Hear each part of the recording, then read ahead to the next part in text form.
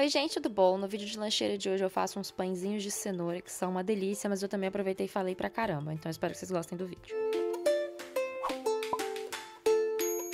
Então, para fazer essa receita, você realmente vai precisar de um liquidificador, como se fosse para um bolo de cenoura. A gente vai usar ovo, a cenoura mais picadinha possível, mais uma vez, como se fosse para um bolo de cenoura, para o liquidificador não tem muita dificuldade. Óleo, e sal. E para o liquidificador ter condições de bater tudo isso, a gente coloca também um pouco de água. E lembrando que a lista completa de ingredientes, a receita certinha, com as quantidades, tanto em xícaras quanto em gramas, está aqui embaixo no box de informações. Enquanto o liquidificador bate por dois minutinhos até ficar uma mistura bem homogênea, eu misturo numa tigela separada açúcar e o fermento biológico seco. A gente vai usar no total uns 700 gramas de farinha, mais ou menos, mas para começar a gente vai colocar só um pouquinho. Essa farinha tá bem nova, tá bem lisinha, então não peneirei, mas se você sentir necessidade, pode peneirar para facilitar a sua vida. Eu misturo esses três ingredientes e já venho com a mistura que estava batendo no liquidificador. E essa aí vai ser a massa do pão. Lógico que agora tá parecendo muito mais um bolo de cenoura do que um pão, então a ideia é realmente botar toda essa parte líquida, misturar o máximo possível, deixar bem homogêneo e adicionando aos poucos a farinha. E por mais que acrescentar a farinha aos poucos, né, faça você demorar mais no fim das contas, eu sugiro que vocês realmente façam assim. Por quê? Eu já fiz essa receita outras três vezes, mas eu sempre uso a batedeira na vida real, né? Já falei para vocês, é muito mais fácil, é muito mais rápido. Quando eu estou gravando vídeo, se não for extremamente necessário, eu prefiro não usar batedeira ou outras coisas, porque isso pode acabar desanimando as pessoas de fazerem a receita, né? Caso elas não tenham. Então, como dá pra fazer na mão, eu estou fazendo aqui na mão para vocês pela primeira vez. Fazendo na batedeira, eu senti que esses 700 gramas de farinha da receita foram perfeitos, assim, deu certinho a conta, a massa ficou perfeita, bem rápido. Fazendo na mão, eu acho que sobrou um pouco de farinha. No final, quando eu fui acrescentar farinha, eu meio que botei o resto assim todo de uma vez. Eu acho que eu passei um pouco do ponto. Eu tenho a impressão, e quem sabe do assunto pode me corrigir aqui se eu estiver errada, quando a batedeira está batendo, ela esquenta a massa. Coisa que a minha mão não está fazendo porque eu estou morrendo de frio. Aqui eu já falei para vocês, está quase no inverno, tá tipo 2, 3 graus. Então eu senti que eu poderia ter botado um pouquinho menos de farinha. Então coloquem aos poucos para vocês pararem quando der o ponto. Então foi nessa hora que eu fui meio que acrescentar a última parte da farinha, caiu muito, eu já botei tudo. Foi aí que foi mais farinha do que precisava. Eu consegui corrigir depois, vocês vão ver. Mas eu vou mais longe possível com a colher, com a espátula. Eu não gosto muito de botar a mão na massa, vocês sabem disso, porque eu tô lidando com mil coisas, mas também porque eu acho que gruda muita coisa na mão e a gente perde um pouco. Peguei essas espátulas que eu já mostrei para vocês mil vezes, tô raspando o máximo que der ali da colher para poder realmente botar a mão na massa. Nessa parte a gente vai precisar. Usando a mão, eu tentei incorporar o máximo possível a farinha à massa. Eu demorei alguns minutinhos, a Rosa apareceu do meu lado querendo saber o que eu tava fazendo eu me distraí, mas depois de mexer bastante, fiquei uns 3 minutos aí tentando incorporar farinha. Eu percebi que simplesmente hum, tava com farinha demais. Mas ao invés de tentar compensar com outro ingrediente molhado, né, para equilibrar a massa, eu tirei essa massa aí cheia de farinha de dentro da tigela e botei em cima da mesa para começar a sovar ali sem esse excesso de farinha ficou no fundo da tigela. Como tava com mais farinha do que eu precisava, eu realmente fiquei sovando mais do que o normal. Acho que eu demorei, pela contagem aqui da câmera, uns 10 minutos sovando. Também tava distraindo a Rosa ao mesmo tempo, então ela tava fazendo com paciência, devagar. Acabei dando até um pedacinho para ela brincar. Mas, é, Deu uns 10 minutos de sova aí na mesa e deu para ver. Eu não tirei farinha da massa, tá? Eu levantei o que tinha dentro da tigela, botei em cima da mesa e realmente aí eu não sei se é porque a minha mão já estava mais quente, se é porque a própria superfície de madeira da mesa é mais quente do que aquela tigela que eu tava usando, mas a farinha entrou na massa. Mas já adianto que com o calor que tá fazendo no Brasil, vocês provavelmente não vão ter o mesmo problema. E falando de frio e calor, tem a parte da, do descanso da massa, né? Dela crescer. Como eu disse aqui, está fazendo muito frio. E no outro vídeo que tinha pão também, me deram a dica de ligar um pouquinho o forno, bem baixinho, desligar e deixar a massa crescendo lá dentro. Isso nunca deu certo comigo, porque eu acho que o meu forno, ele tem a temperatura mínima muito alta. Então, quando vocês estavam olhando a rosa aí pra mim, eu coloquei uma tigela no fundo do forno desligado com água fervente. Virou uma sauninha. E agora eu vou cobrir essa massa com película película plástica e vou deixar descansar por 40 minutos. Aí vocês vão ver o efeito que essa sauna deu no, no crescimento da massa no lugar frio. Então, depois da massa crescer, ela ficou assim, cresceu bastante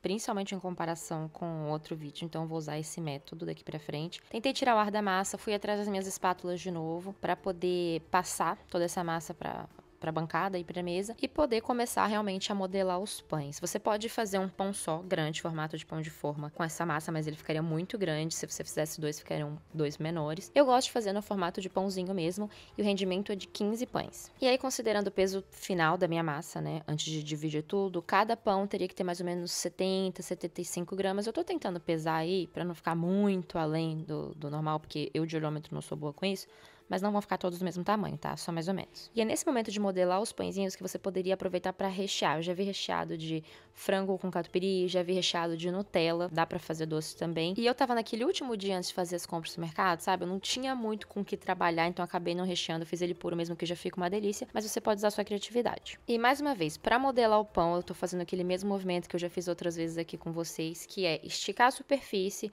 puxar como se fosse uma trouxinha para baixo do pão e no final eu dou aquela arredondadinha em cima da mesa para ele ficar nesse formato mini pão de hambúrguer, sabe? Bem redondinho. Com todos os pãezinhos prontos, eu vou pegar uma assadeira, no caso aí eu só tinha esse pirex, não tem assadeira com a borda alta, e untei, tá? Com margarina e farinha e vou fazer três fileirinhas de cinco ou cinco fileirinhas de três separando o máximo possível, porque a gente ainda vai deixar descansar mais uma vez antes de ir pro forno, e no forno eles também vão crescer. Então, se você quiser realmente pães separados, é, é bom que você dê esse espacinho para não virar uma coisa só. Uma pequena observação, quem for usar essa técnica da bacia com água fervente, eu tirei o pão rapidinho, a massa de pão rapidinho do forno, fechei a porta e deixei a tigela lá com água fervente, porque eu vim modelar os pães e agora, é, com a ajuda da Rosa, que gracinha, eles vão voltar pro forno para descansar mais uns 10 minutinhos, mas o forno ainda tá naquela sauna ali, porque eu não tirei nem água fervente nem deixei a porta aberta. Então agora a gente põe todos os pãezinhos para descansar no forno por esses minutos. Eles não vão crescer muito não, tá? Agora o crescimento maior vai ser no forno mesmo. Depois que eles saíram do forno do descanso, forno desligado, lembre-se disso. O que que acontece? Eu peguei ovo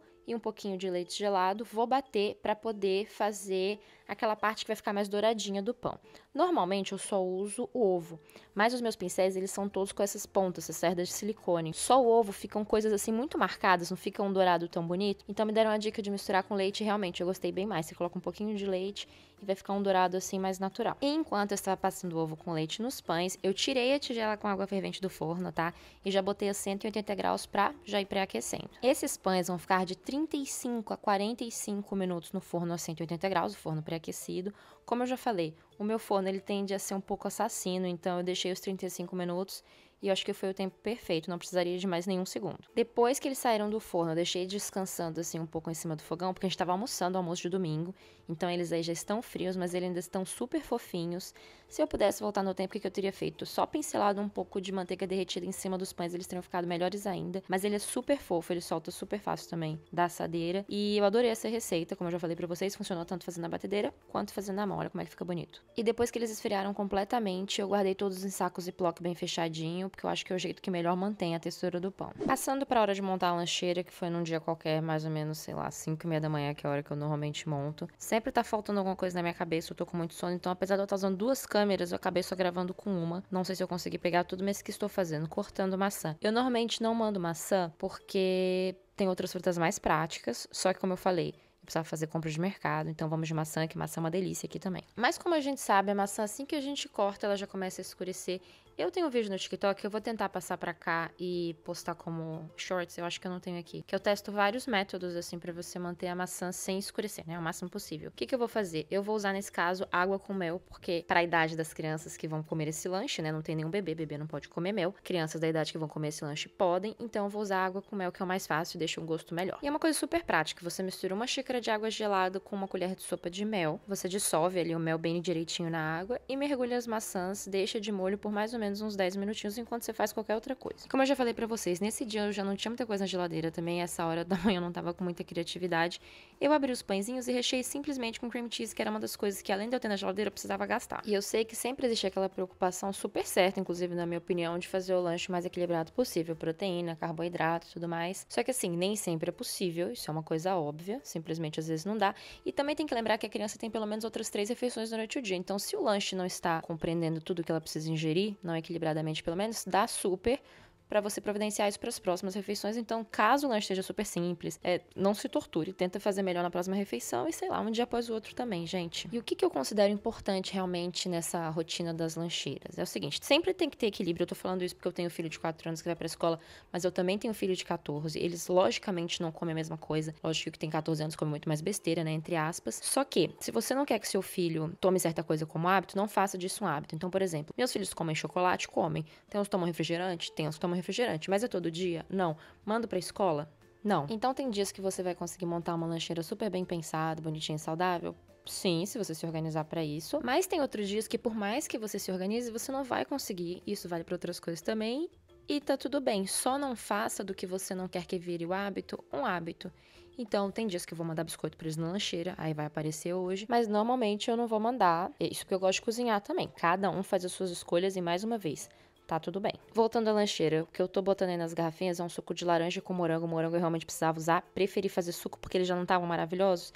Então bati rapidinho, tô mandando essas garrafinhas que eles devolvem, tá? Eu lavo e eles reutilizam. As maçãs eu escorri, mas não enxaguei, essa parte é importante. E agora eu só vou montar a lancheira mesmo. E aproveitando que esse vídeo já está longo, que eu já falei bastante, vou falar um pouco mais sobre pote de lancheira dessa vez. Já me pediram para fazer um vídeo atualizado sobre as coisas que a gente tem para fazer lancheira, vou fazer. Mas enquanto isso, eu queria falar sobre esses potes especificamente. Como eu tenho cinco filhos que vão para a escola e tem muito tempo, mais de 10 anos, né, que eu faço lancheira, faço vídeo também, eu acho natural ter alguns potes. Mas guardem essa informação, pelo menos aqui no meu canal. Não é porque eu estou mostrando uma coisa que eu estou sugerindo que vocês comprem, que eu quero atiçar esse desejo em vocês. Por quê? Tem uns três anos que eu queria comprar esses potes e eu comprei ano passado, uma promoção da Black Friday, então ele foi relativamente barato, mas para um pote de lancheira, caro entendeu? E sempre que eu posto aqui, me perguntam qual é o pote, e aí eu comecei a botar referência. E esse pote, por algum motivo no Brasil, custa 500, 600 reais, não sei porquê. Eu paguei, convertendo aí, uns 80 reais em cada um. Só que é uma compra da qual eu pessoalmente me arrependo, porque ele é um pote pesado, ele é bem pesado para criança pequena. Para criança grande não faz sentido ter, tipo, o Bernardo Tomás não tem esse pote, porque além dele ser pequeno, ele é muito infantil. E então, para uma criança pequena, tipo José, é um pote pesado para ele levar na mochila. E nessa seção onde eu tô colocando o pão, na verdade tem uma termos removível. E para quem manda lanche, iogurte ou uma comida quente, é muito prático ter uma termos que dá para embutir dentro da lancheira. Só que a tampa dessa termos eu não acho tão legal para criança pequena porque pode ser um pouquinho difícil de fechar na volta, então pode ser que a lancheira volte toda suja. Então, comparando o preço da lancheira com toda a funcionalidade dela, eu simplesmente não acho que vale a pena, mas isso aí vai de cada um. Só que, deixa o aviso: se você olhou, achou bonitinho, não se desespere, tá? não é a melhor lancheira do mundo, então não precisa pagar 500 reais nela. Mas assim, como eu já comprei os potes, eu vou usar. Eles têm um tamanho muito bom, então para mim servem, só que não compraria de novo ou não compraria mais. E sobre esse assunto, tem dois vídeos que eu queria fazer. Um é aquela atualização dos acessórios, né, dos potes que a gente tem para fazer lanche, e outro com dicas, que também é uma atualização de um vídeo bem antigo que eu tinha, dando dicas para quem não tem os potes com divisória ou para quem não tem a garrafa térmica. Então me falem aqui embaixo se vocês têm interesse nesse tipo de vídeo. E no fim das contas, a lancheira do dia ficou assim: o pãozinho com cream cheese, a maçã cortada, o suco e uns biscoitinhos, sabe aquele tipo pretzel que as crianças adoram. Então, só para completar ali o espacinho. Lembrando que eles passam o dia inteiro na escola, eles muito provavelmente não vão comer tudo isso de uma vez. Tem dois recreios, tem um momento que eles ficam lá me esperando para chegar. Então, normalmente elas chegam vazias, tá? Dependendo de como foi corrido o dia. E é esse o lanche de hoje. Muitas horas depois, vamos ver como voltaram as lancheiras. Essa é a da Nina. Por algum motivo, só uma lasca de maçã, mas vocês podem ver aí como é que fica depois de quase 10 horas, ou mais de 10 horas. Ela não trouxe o suco de volta porque tava na mão dela. Na hora que eu busquei, ela tava tomando. Essa é a lancheira do José. Ele me falou que teve uma festa de aniversário na hora do lanche da tarde, então ele não comeu tudo, mas ele também reclamou do cream cheese, ele não gosta muito.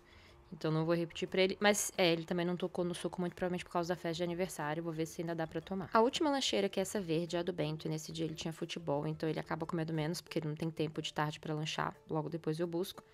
Ele não tomou o suco, mas eu acho que ele realmente nem tocou, porque a garrafa parece estar cheia. Mas de resto foi tudo como eu falei. Vou ver se ainda dá para tomar. Então assim voltaram as lancheiras. Eu espero que vocês tenham gostado do vídeo e a gente se vê de novo na quinta-feira.